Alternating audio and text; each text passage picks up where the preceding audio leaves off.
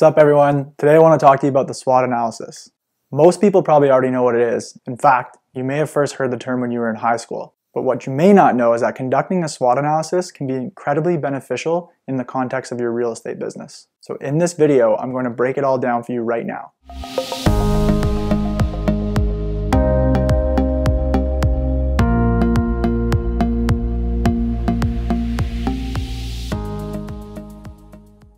Hi, my name is Curt Serno, and I'm an award winning real estate agent, and I'm a coach and consultant.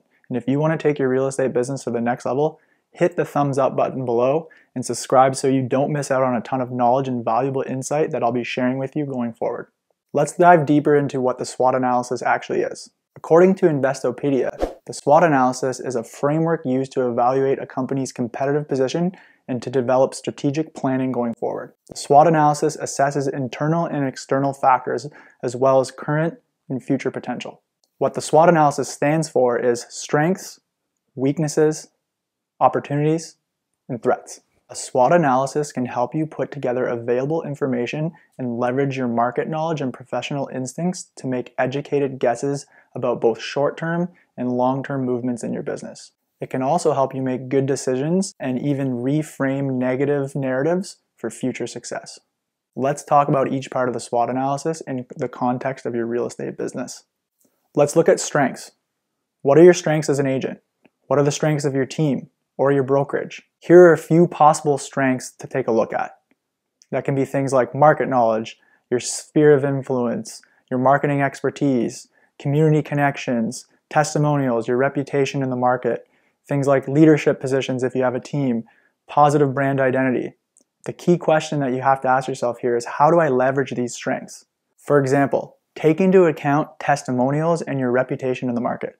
Perhaps you have a portfolio of great reviews from clients and you also have a positive reputation in your market. Your testimonials are a great way to showcase your success as an agent, and if it's marketed properly, it would just further add to your positive reputation.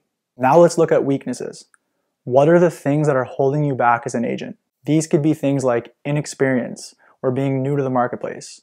Maybe you have a small sphere of influence to start your database with. Or perhaps you have some negative online reviews that you need to evaluate and figure out how to provide better service for clients. A negative brand identity or reputation among your peers can also be considered areas of weakness. Now let's look at opportunities. What opportunities do you see in the near future or long term future in your market? Maybe there's a forecasted growth due to a new industry or company headquarters going up in your city. There could also be an influx of new residents and people looking to capitalize on investment opportunities. New home buyer incentives, demographic shifts, lower interest rates, these are all opportunities for agents to expand their business and their lead generation activities. Finally, let's look at threats. What threats do you see in the current or near future that could affect your market or your business? Maybe there's an economic downturn predicted.